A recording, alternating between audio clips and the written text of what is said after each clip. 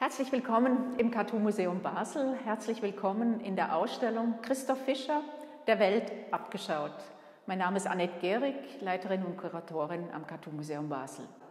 Christoph Fischer aus Luzern, ein Künstler, ein Zeichner und Illustrator, ein Künstler, der in ganz unterschiedlichen Feldern unterwegs ist, ist bestens bekannt über seine Comic-Reportagen. Diese Führung wird sich auch den Comic-Reportagen widmen. In der Ausstellung in Basel zeigen wir die gesamte Bandbreite seines Werks, erstmals eine Retrospektive. Christoph Fischer, ein Künstler, der, wie der Titel schon sagt, der Welt abschaut. Der Welt abschaut, aber nicht Schauplätze, die allen bekannt sind, der uns Schauplätze zeigt, die man sonst nicht sieht.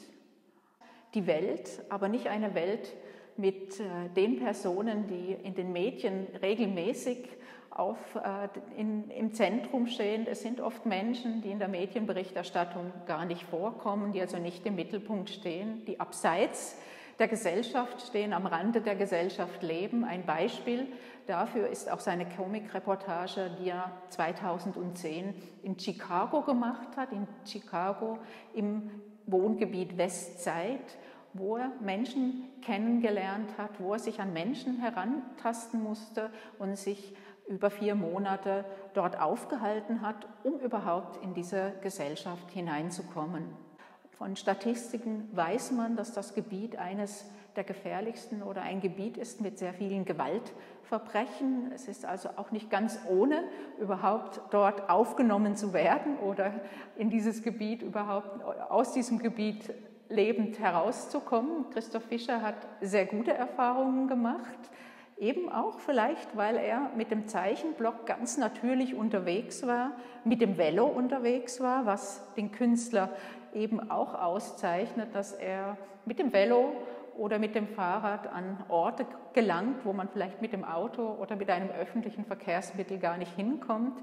Oder dann vielleicht auch so unspektakulär als gegenüber oder nicht gerade als Fremdkörper angesehen wird, wenn man so in eine neue Umgebung kommt. Also jemand, der wirklich in die Welt der Menschen hineingekommen ist, vielleicht auch das, was die Comic-Reportage ausmacht.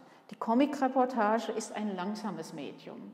Zeichnen ist ein langsames, ein stilles Medium, wo man sich Ordne, Ordne, Orte kennen muss oder Orte wahrnehmen muss, eine ein allmähliches Entwickeln oder ein Aufspüren der Atmosphären, ein Kennenlernen der Architektur, der wichtigen Details, weil die Zeichnung ja immer ein, ein realistisches Bild verdichtet, weglassen muss, entscheiden muss, was sie in den Mittelpunkt rückt. Die Comic-Reportage ist aber auch in den letzten Jahren deshalb ein wichtiges Medium geworden, weil in unserer schnelllebigen Welt auch der Journalismus natürlich immer die schnellsten und noch die heißesten News äh, berichten muss. Das langsame oder das genaue Hinschauen, das äh, authentische vielleicht auch ein bisschen abhanden gekommen ist.